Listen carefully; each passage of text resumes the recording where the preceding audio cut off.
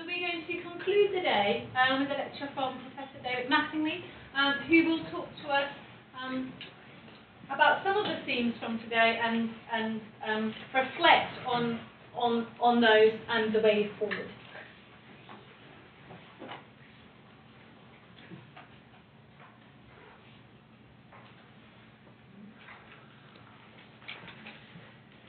Well, uh, yeah, I'm another one who kind of got into this week and suddenly started to notice the deadline for doing this talk and, and, and, panic. And I, I, my, my mental picture of this was it was some concluding comments, and then I noticed they'd slipped in this word keynote, which made me really absolutely um, uh, panic about it all. Um, we are here to celebrate Britannia, to celebrate the last 50 years of, of, of Roman archaeology in Britain, but we're also here to reflect on it. And after reflecting quite, uh, quite a lot over the last few days, I thought, whilst know, coming here to praise Caesar, I'm also going to uh, offer some critical commentary as well, as indeed a number of other uh, uh, papers have done today. In part, you know, and, and, it's stimulated very much by the sort of contributions we've had today. Uh, you know, seeing the potential that we have in our subject, you know, new source of evidence, new approaches, new methodologies, um, new theoretical frameworks that allow us to do different things with a vast amount of data, wonderful data, that's been assembled over the, well, more than 50 years, but in, in particular reflecting on, on the last 50 years. Um, I'm not going to try and do a summing up that kind of addresses what each paper has said, because I would just spend all my time uh, summarising what you've already heard, and I don't think that's particularly useful. Um, but I hope that you'll see echoes of many of the other contributions in some of the things I'm going to say. I'm going to uh, focus in part on the journal and the potential of the journal, um, but I'm also going to comment on aspects of the state of Romano-British studies. And uh, I have to say, if I refer to some of my own work in, in, in framing that uh, sense of uh, a, state, a state of the subject, uh, please excuse that self-indulgence, uh, but I hope it will become clear. It's, it's also because I think um, that the work that I've done over the last uh, 20 years, in part, has, it's been, uh, it's echoing broader developments in the subject and the work of many people in this room, in fact, um, that have opened up something of a, a, of a divide, an intellectual divide, between where Britannia started as a journal and the agenda of study and where the subject is going to some extent uh, today, uh, particularly perhaps in the universities, but I know uh, there are many people here from professional units and, and others who are also interested in, in these new approaches. So, start with the journal. I think the first thing Sarah Britannia is, you know, it was set up to be a journal of record of the best, but also the most traditional type, the place uh, we would go to to find out uh, key information, um, the latest discoveries in the field. And you know, uh, I haven't been a, a, member of the Roman Society quite as long as Martin Millett, but I do have uh, this enormous range of, uh, of, of, copies of the journal on my shelf. Many of them are extremely well thumbed, and I certainly quarried the journal phenomenally when I was writing um, my, my, my, my, books on, on Roman Britain. It's an amazing legacy. I mean, you know, I, think, I think many of us who've been in Roman archaeology can probably remember when we first encountered Britannia and that sense of new information coming out, and that palpable excitement one had as one unwrapped a new edition and flicked through for uh, looking for stuff that one was vaguely aware of or just to look through what was new. Um, and I think, you know, that is something that uh, I, I certainly will always carry with me as a, you know, Britannia was one of the first journals I engaged with in that way, and I always remember that, that, that experience.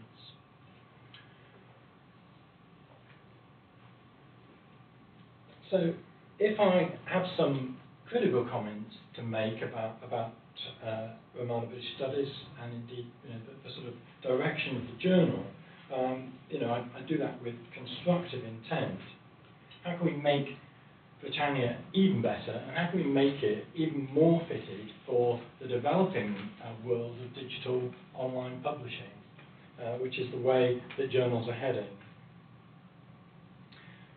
And also, I think, you know, all subjects, healthy disciplines, evolve and change. And I think if, if we weren't expecting our discipline to change and evolve, um, then it would be, then it would be a, a pretty sad story. So the mission statement of, of Britannia reminds us that um, you know it, it, was created at a particular moment and for a particular reason. Um, it was created by that group of, of leading Romano-British specialists in the 1960s at a particular moment in time. They were mainly men, it has to be said. We've heard something about uh, their sort of intellectual dominance in the, in, in the field at the time. Um, but in some ways, Romano-British studies wasn't a particularly self-confident discipline um, in, the, in the 1960s. My ex-PhD supervisor, Barry Jones, uh, several times told me the story of how, uh, you know, amongst the, uh, the, the, the, sort of Roman historians and classical world people at Oxford, uh, those that were interested in Roman uh, British studies were completely looked down upon. And one of the, the classics professors famously described Roman Britain as, hmm, two wet bricks in a wet field. uh, and in a sense, building a journal that would establish the, the academic uh, you know, uh, rigor and the academic credentials of the subject was really important in, in the 1960s. And a, and a journal with an agenda of study uh, behind it. And I think you know, that in part uh, explains some of, some of the, the energy that, that, that, was put into the early development of, of Britannia. We've noted this, this point about the kindred studies, and um, you know, we'll have a little bit more to say on that uh, later on. It's clear pets are part of kindred studies uh, after several of today's uh, pres presentations, perhaps. Um, but the, you know, the intent was there to do something that went beyond Roman Britain. But I think it was also clear from Helen's presentation, from Martin's presentation, a number of others, that uh, actually the journal hasn't as much stepped across into those parallel fields, whether other time periods or looking beyond uh, the British Isles as we might have hoped. And I think one of the problems that Romano-British archaeology faced in the 1960s was to counter that perception of the two wet bricks was the need to build up a really solid body of knowledge. And so an awful lot of energy has gone into wall building, you know, blocks of knowledge being put into the wall. And Martin reminded us, that, uh, of those amazing corpora of inscriptions and mosaics and sculpture and so on. They have been built up and are the foundational works uh, of, of the subject. But there has been a danger, I think, at times that the subject has become very descriptively focused on building those blocks into the wall, um, and perhaps not always uh, taking the time to reflect on what the data may mean or where they, where they may, uh, may lead us. Um, and this, you know, in a sense, takes us slightly towards the sort of more stamp collecting area of, of Roman archaeology. And, you know, we have titles um, you know, along the lines of a new Roman fort in, you know, Lower Mudwallow or somewhere, or, you know, uh, a, a, Roman altar, um, you know, from Stony Blockstead or something. I mean, you know, we, we, we know those types of articles. They're important. They're part of the journal of record function of Britannia. But they don't always take us very far beyond the, the presentation of the material. And I think that's you know, one of the crucial things um, that, that we need to be addressing. And I think, you know, another aspect of, of this mission statement is, um, in a way, it's quite a, a, a, reactive mission statement. It's waiting for people to bring stuff in to, to do that reporting, um, rather than proactively seeking, seeking to um, new avenues of, of, of research. And it partly reflects the fact it was set up by a group of people who knew what they wanted, they knew what they wanted to study, and they were going to go on and do it. So, do I turn to the pages of Britannia as eagerly today as I did when I was, you know, uh, um, 20 years old. Well, yeah, I, I would have to say I don't have quite the same excitement, or quite the same time perhaps even, to look at it. Um, my bookshelves are absolutely groaning under the weight of those volumes, and it is, uh, it is quite daunting to, to get uh, to get to the same level of, of detail. In fact, you know, most of us nowadays probably are doing much more online um, than with, within the hard copy journals. Uh, my brain struggles to keep up with the accumulation of data. You know, we have built up one of the most extraordinary uh, data records of any Roman province uh, in, uh, uh, in the Roman Empire. But it's quite hard, I think, now, it's becoming increasingly hard for us actually to, uh, to manipulate and work with that data, to think about what it means. So the standing of the journal you know, is both a blessing and a curse because you know, the traditional focus, the traditional shape of the journal does encourage a certain type of reporting of discovery and reporting of material. Um, and it also, I think, you know, in a sense, slightly discourages um, submissions from people who are trying to uh, engage with more theoretical approaches or, or, new approaches because they're not uh, always so sure how, how things fit.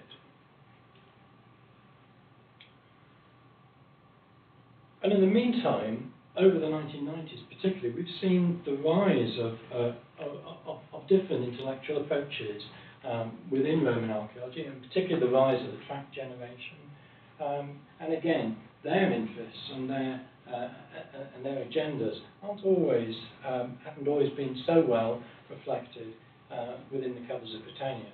We can see the editorial committee, and it's very visible in the editorials written over the last 20 years, the editorial committee is regularly discussing how do we get more, uh, you know, uh, more people to write thematic articles, interpretive overviews.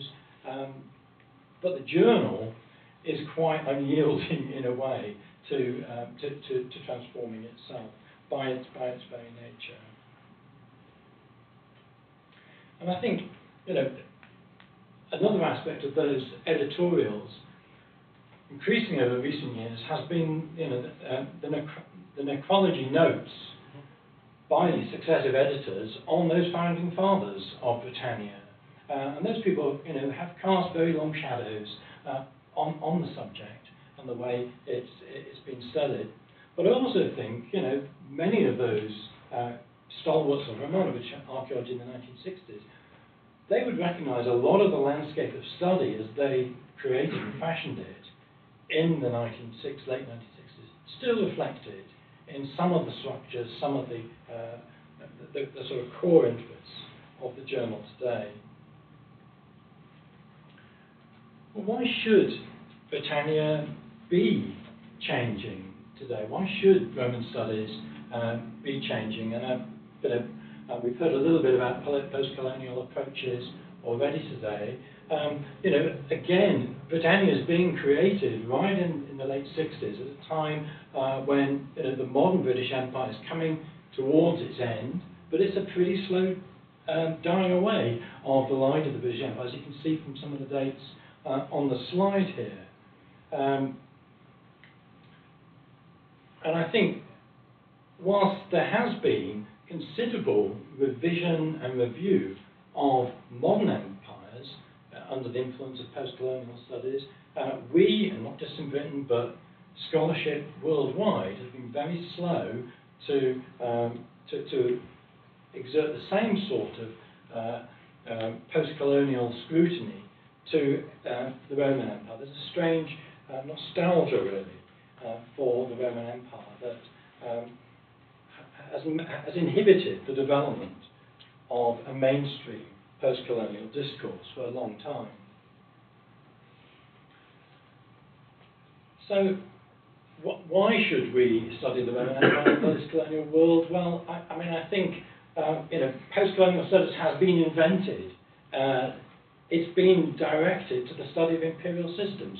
Why would we not use post-colonial study to, uh, to, to uh, shed some light uh, on you know, one of the greatest empires that uh, has ever existed in, in world history. It, it is you know, quite a self-evident move that we should uh, that we should uh, be making. So there have been, as we've seen today, I think, you know, some significant shifts in Roman archaeology. But at the same time, I don't think we've seen quite as much uh, engagement with these uh, post-colonial ways of looking at empires and thinking about empires as we might expect, uh, given the, say, the, the, parallel development in historical studies directed at modern European empires. Um, the TRAC conference certainly uh, took us, um, I think it's taken us quite a long way along this route.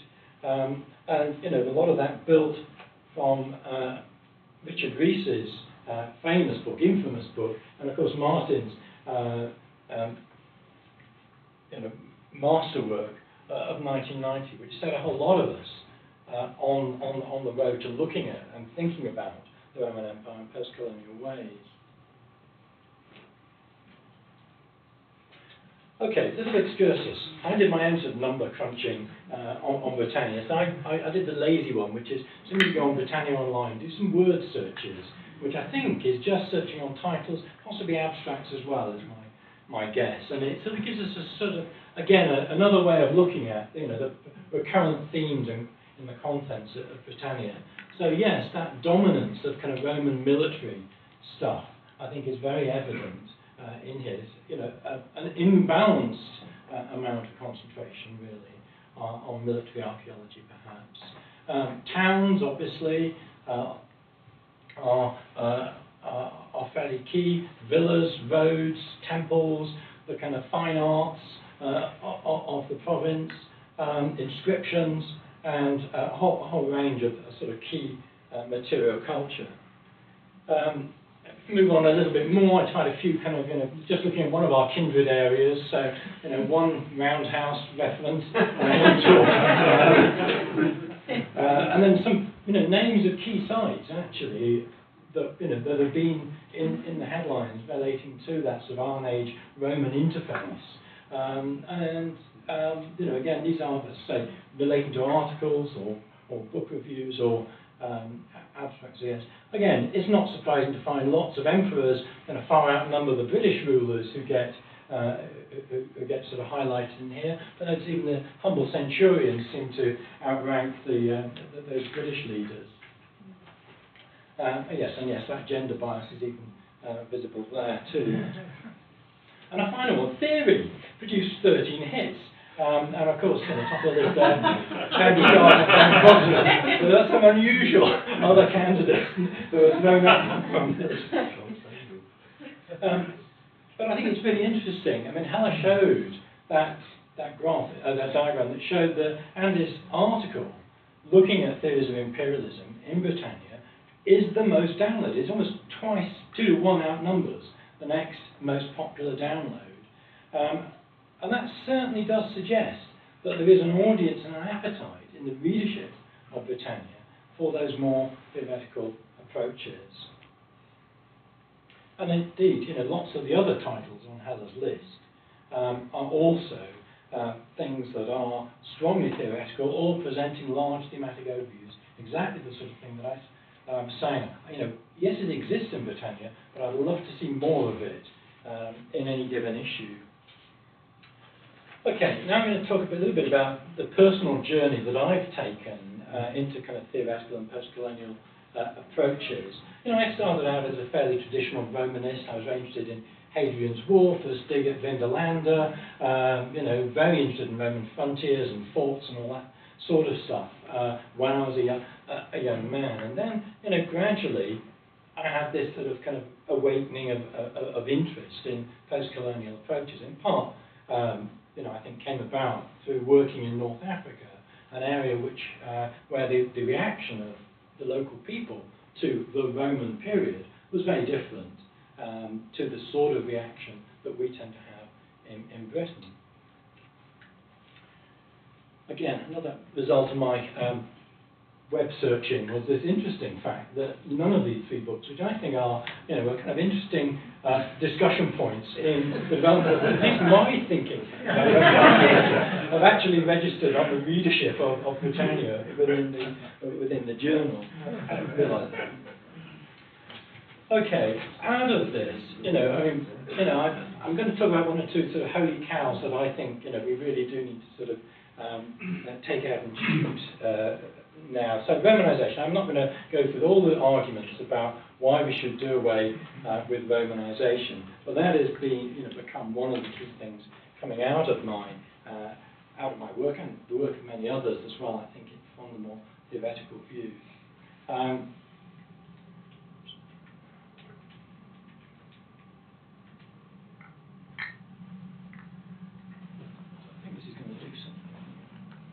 Yeah. Um, the other bugbear, Roman Britain, um, you know, um, uh, and it, it's, uh, I, am on record in my, um, in my imperial possession as saying that, you know, that there is a problem with this shorthand.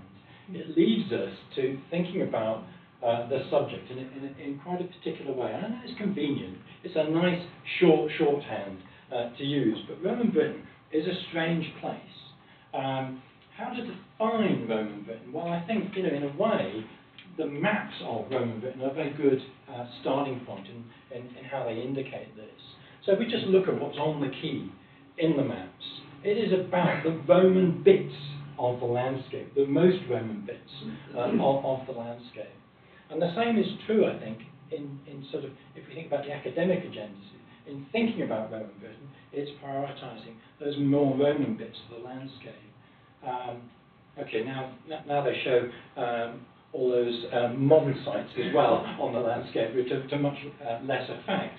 Um, but what we glean from the Ordnance Survey map is, uh, is this vision of, of you know, different types of Roman sites, towns, forts, temples, villas, and so on. Um, interestingly, you know, they show very diverse distributions, uh, and that might prompt some questions about what's going on under that.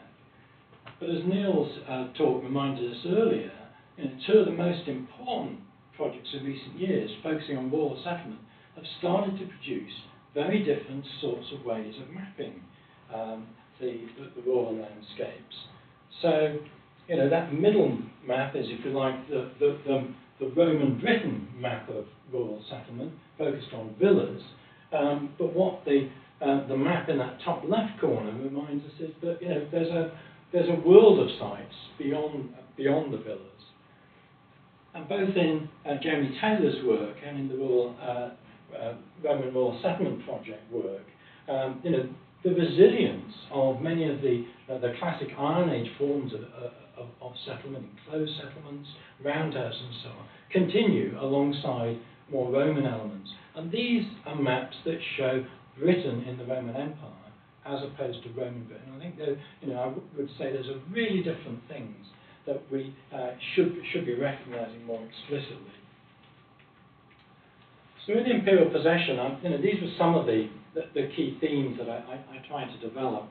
Rejection of a simplistic Romanization model, its replacement uh, with exploration of ideas of discrepant identities, and we've heard about discrepancy uh, in Ellen's paper as well, and, and she shows very clearly, I think, the really subtle ways that artifact studies can start to exploit these sorts of models. Uh, regionality, again, uh, something uh, that Neil raised very strongly coming out of the work, the detailed work on rural settlement. Um, and far too often in the past, we've, we've focused on you know, just showing the commonalities um, of, of, of, of, sites in, in Britain, rather than ex exploring just how different one side is from the next or one region is from the next. And the book, again, it, it's not a conventional historical narrative. It was much more about how power operated in a frontier province and what the consequences of that were for different groups of the population. Not everyone experienced that imperial rule in quite the same way. And I say, uh, you know, I think I try to enforce uh, a distinction between what we might understand by Britain and the Roman Empire and Roman Britain. And I think, you know, if we go back to that uh, Britannia and, you know, Romano-British and kindred studies, that's about Britain and the Roman Empire. It should be about Britain and the Roman Empire. Perhaps too often we've been moving towards a focus on Roman Britain. So Britain as an imperial and heavily militarised territory, I mean, there are implications for the lived experience of people uh, within the province. Um, you know, my vision of Britain and the Roman Empire is not to everyone's taste. Uh, some of the reviews were, uh, the journals that did choose to review it were, were, were pretty blunt about this, that, uh, you know, they thought I focused too much on the negative aspects of Roman rule, but then, you know, 350 years of military occupation, I think, is, is likely to have uh, a, a, certain amount of impact uh, on, on a region like Britain. And Ian's Headless Britain, I think, reminds us of the, of the sharp end of those sorts of uh, violent relations of, of empire. But I think the challenge really is to explore the deeper meaning of all the amazing data that Romano-British Studies has, has accumulated and you know, attempt to show how the new ideas and approaches of the TRAC generation can be applied to grand historical overviews. Okay, finally then, last two slides. Some ideas for future Britannia and some discussion points arising around this. Um, digital journals clearly open up lots of new possibilities. Um, and as I've said already, it's very clear that the editorial committee for Britannia spent a lot of time discussing these issues and are trying to uh, elicit more articles of a, of a, particular type and to change the shape of, uh, of the journal to some extent. But it's like steering a super tanker or turning around uh, a super tanker. It, it, it, it, it's a long-term pro, uh, process. So no doubt a lot of what I'm saying is, is repeating arguments that have been uh, well, uh, well rehearsed in their meetings. And I'm not saying that we're going to turn this supertanker around and sail off in a completely different direction. It's, it's, I, I think you know, that may be the wrong analogy. It's more about what we can add, what we can, you know, what, how we can um, grow the, the that, that, coverage particularly. You know, we need more, uh, more, more coverage of the kindred studies. Uh, we need uh, more coverage, more engagement with the wider Roman Empire. Um, you know, we need more science in there. We need more women in the journal. We need more diversity, really, uh, reflected in the journal. A digital delivery, you know, has many advantages now. Um, there are lots of neat things we can do with the digital formats and deliveries. Um, the first look publication online is a great development. We have to wait. Um, perhaps that's why I don't have such anticipation when the journal comes, because I've already read some of the key articles uh, by the time it, it does. Um, we get greater visibility, we increase our readership base potentially. Um, we've got that potential for supplementary materials and images to be put on the website. And you know, perhaps a key issue is the potential to reduce the really huge costs of traditional journal hard mm-hmm. copy publication and, and distribution. So here's a, a, suggestion to end with. Why not split Britannia into two distinct annual outputs to reflect the different functions and agendas. How about a Britannia Reports issue that essentially includes all that wonderful Roman Britain in 2000 and whatever, um, the book reviews, articles and short contributions that are essentially descriptive or reporting on field work. And we might conceive of that part of the journal as becoming entirely on online allowing more material, more colour illustration and so on. And then a separate Britannia discussions issue that explicitly invites theoretical pieces, thematic overview, discussion articles uh, of different scales. And we could theme some annual issues as well in the, in the way that Gallia does, for instance, with dedicated volumes. Um, or again, you know, using that world archaeology model of advertising in advance the future themes, that's a way to make sure there's plenty of time to get material in that's fit to the, uh, uh, the, the, the theme, and to make sure that the proper level of peer review can be gone through the selection of material. Um, anyway, I leave you with those thoughts.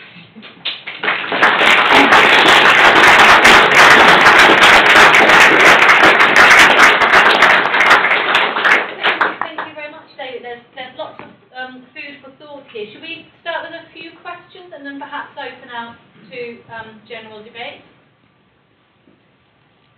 What is going to be the effect of Brexit on the development of British studies? Um, well, nothing good. Um, but I think, you know, and I think uh, it's been mentioned a couple of times today, this is not the time for us to be more parochial. This is a time for us to be much more engaged with uh, with, with broader scholarship on the Roman Empire, outside, you know, beyond, beyond the Channel. So it's a good moment for us actually to kind of open up the journal a bit more. But surely that means getting beyond Europe. And Well, looking at North Africa perhaps, which is outside Europe. well, why not? Yeah. You know, if, if, if what we learn But in be North sure it is Africa not has something to inform our, hmm. our, our approaches in Britain.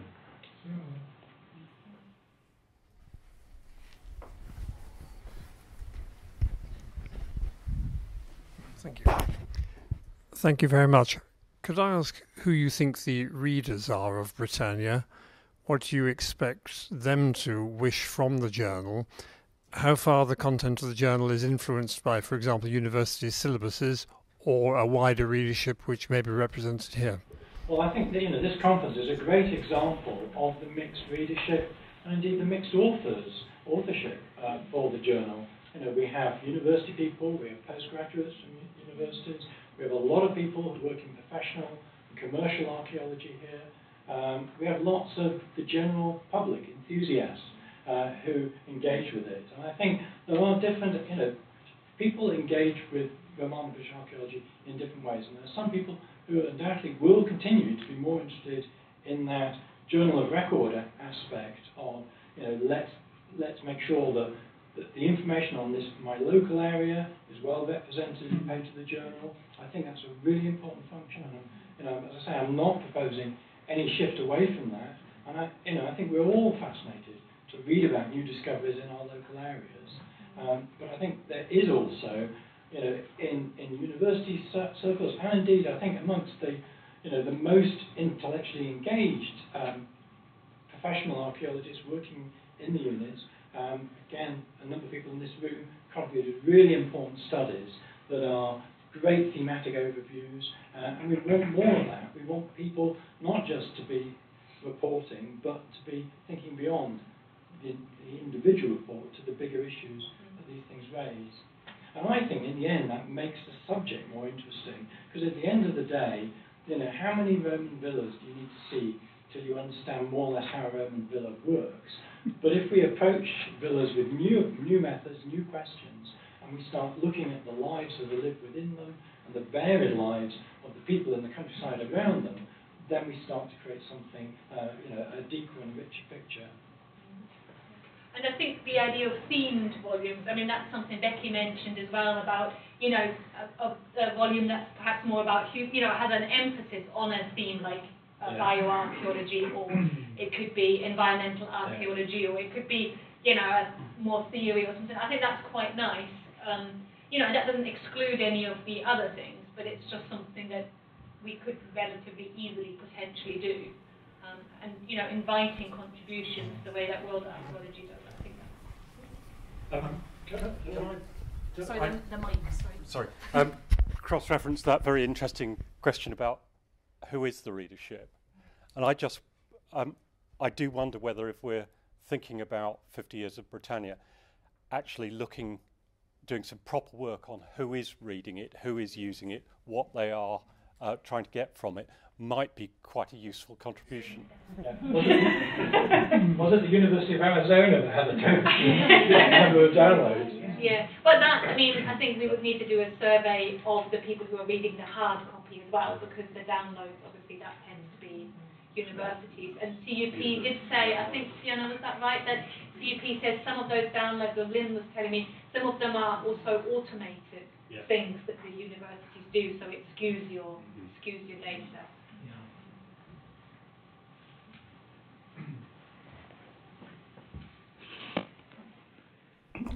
Right. Thank you very much. Um, fascinating conclusions. Um, just a sort of thought. I like your suggestion we ought to think about Britain in the Roman Empire much more. And I wonder, is this a time to actually bring the Journal of Roman Studies and Britannia back together? I mean, we've heard very little about the Journal of Roman Studies. or is that just too heretical a suggestion?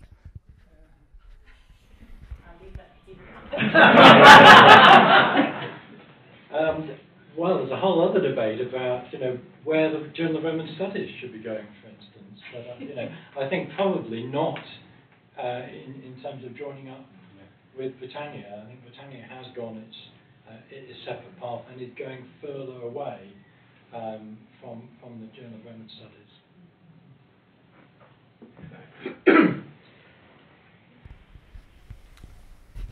Thanks. Uh, I think there may be a risk in the idea of thematic volumes, if by that you mean a continuous sequence of them. Uh, I can imagine that when many people get their issue of Britannia, there are a number of papers that they jump to read, and there are others that perhaps they will never read in each volume. But with a sequence of thematic volumes, there may be a whole series of such volumes that a lot of people would not read at all. You you need to mix things, I think, for your leadership. But I think you know what I would say is I think my suggestion that we we keep the Journal of Record essentially as a separate issue. Lots of people read that above all, um, but we have a discussion volume, and it, you know we wouldn't necessarily have a themed volume every year, or you know maybe you know there's always the possibility that we go down to more than one issue uh, in, in, a year. You know, um, you know, and it's, it's one of the virtues of of online publishing that things can appear more quickly. And one of the problems with uh, old style Britannia and JRS is, you know, things are submitted so far in advance of when they actually appear. And often they're accepted and, you know, um, gone through the proofing, and then they have to wait for that sort of November publication uh, moment, sometimes a year ahead uh, from when they've been fully accepted. And it's a long delay. And I think online journals give us the chance to get things out a lot more quickly and in a more targeted way. Bear in mind that not everybody goes online. but I think you know, that, you know, whatever whatever we decide in the Roman Society about our journals, the way the international publishing market is moving, um, you know, I think hard copy journals have a limited lifespan now. Hello. Uh, just a comment. I note that uh, in your Britannia reports, you talk of Roman Britain in 2000 and something. After your comments uh, about um, your dislike for the concept of Romanization and Roman Britain, how come you're talking about Roman Britain?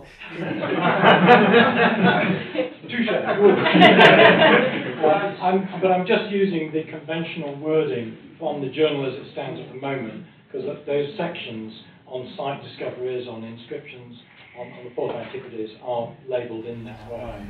You also talked about Romanized at one point as well. it is a very difficult word to avoid.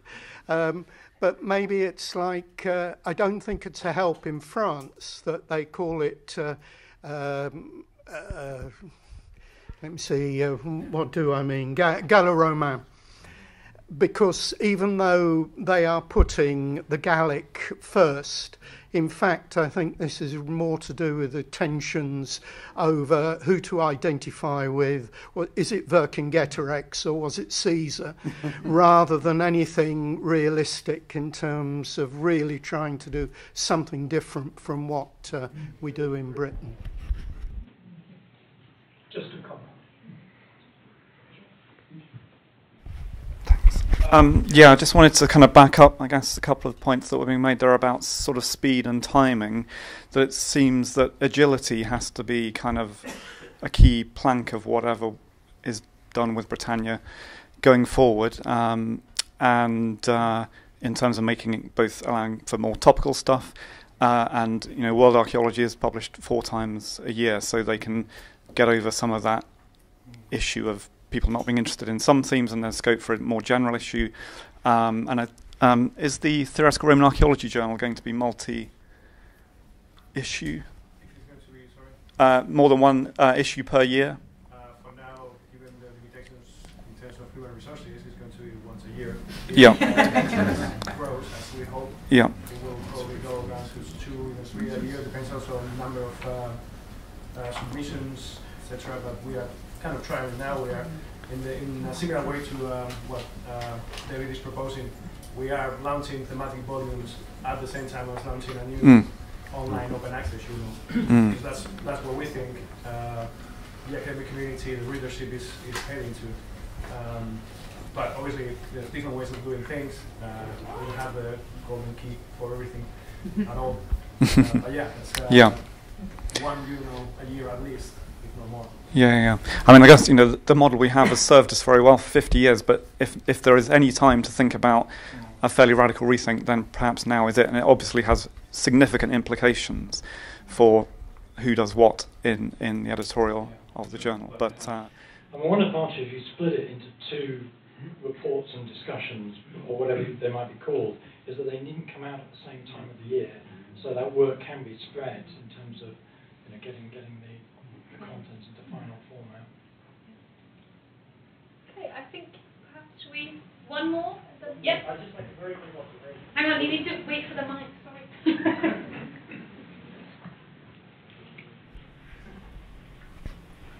Thank you. I just absolutely support what David's been saying in terms of splitting the journal up into two two sections. Uh, I think in this modern digital world, uh, we do need to react more quickly, but also I think we very often under underappreciate and forget just what an enormous appetite there is out there for information, new information coming out of Roman Britain. And some of the things that have been found in Britain this year have quite frankly reached millions of people. And it's how that information is transferred to millions of people. And one of the great things about the journal as it stands at the moment is its authenticity um, through the editorial process. And if you can encapsulate that, that, that element and then include it into a, a more uh, rapid way to reach out to people, And I think you're onto a really good winning formula. Thank you. On that happy note, I think what we wanted to do is just end the day by thanking all the speakers again, um, and also thanking Tim and um, Fiona, obviously, for organising, um, thanking the Roman Society for sponsoring the event, um, both the editorial committee and the um, archaeology committee. Um, I think that's pretty much it, and we will hope to bring together some of the um, work that was done today, some of the papers we've heard today. We're, we- we're sort of going to email all the speakers and think through some different ways of whether we want ab- short abstracts or slightly longer versions of these, or whether we work it into some kind of themed, um, themed volume um, for the 2019 volume, which is the one we're, we're aiming for. Um, and just to say thank you all for coming, and there is wine outside. Can, can I just seize the moment as I'm at the front saying thank you to Helen and Andy for an amazing conference.